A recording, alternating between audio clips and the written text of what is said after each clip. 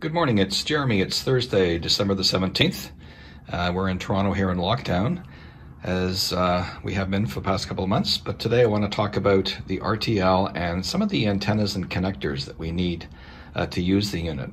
Now, I'm showing here two types of RTL. That's the first one uh, that I got about six or seven years ago. It has a plastic case and it has a USB connector on one end, which goes into your computer.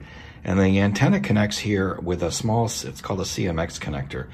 The antenna that comes with the unit is um, a small little vertical antenna. It unscrews. It's about 10 centimeters long. Uh, 10 centimeters is about 0.1 of a meter.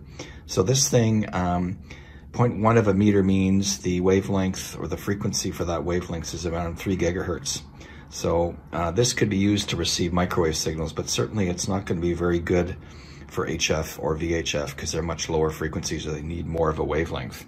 As I mentioned in the blog post, you need about a quarter of a wavelength to half a wavelength to get decent reception, depending on what frequency you're going to listen to. Here's the other SDR. This is, has a metal case. It's got a USB connector on one end, and it's got an SMA connector here. Uh, you can uh, get a whip antenna with an SMA connector like this guy and put it on the end if you want. Or you can use the nano up converter if you want to listen to HF. It's got a male to male adapter in between here. Now, previously, when I was using this version here, when I was receiving um, VHF Marine and Air, I used this kludge here.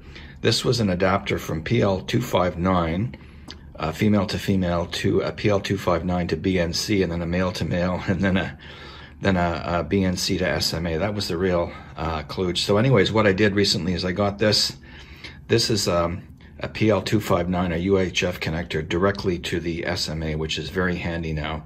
So if I want to listen to marine radio, I can put that right on the uh, RTL and go right onto the connector on the antenna.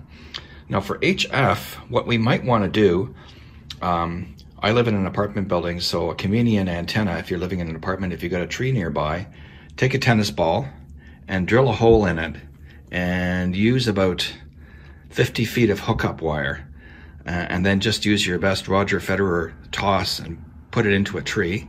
And then take the center, take this, strip the um, insulation off and put that into the center pin, um, uh, the center pin of the RTL. And that will make a very effective H HF antenna. Because let's say you want to listen to weather fax at 7 megahertz. 7 megahertz is 40 meters, so you're going to need an antenna of at least 10 to 20 meters long to get a good signal. So that means you need about 50 feet.